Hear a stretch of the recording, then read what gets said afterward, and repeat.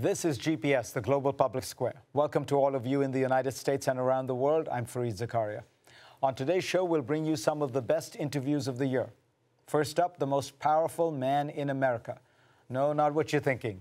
That's what some people call Grover Norquist, who he is behind the GOP pledge never to raise taxes. Then, who really creates jobs in this country? Is it the 1% or the 99%?